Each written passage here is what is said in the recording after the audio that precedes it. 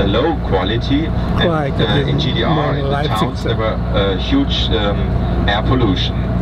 Air pollution. So, so the coal mining um, mostly is coming to an end, and we have um, yeah big holes in, in, in the earth. And uh, now there was the the plan to to reorganize um, the nature, and the idea was to to create artificial lakes mm, to bring water in it. Okay.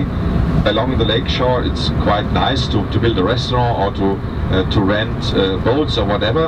Uh, it's it's nice, but um, there was only one way to, to get water into these holes and um, they um, they irrigated the water from the river Spree. Uh, the river Spree later goes to Berlin but now the result is that the river Spree has uh, low water and the water is in these artificial lakes. Mm? Yeah, so you see, mm? uh, yeah.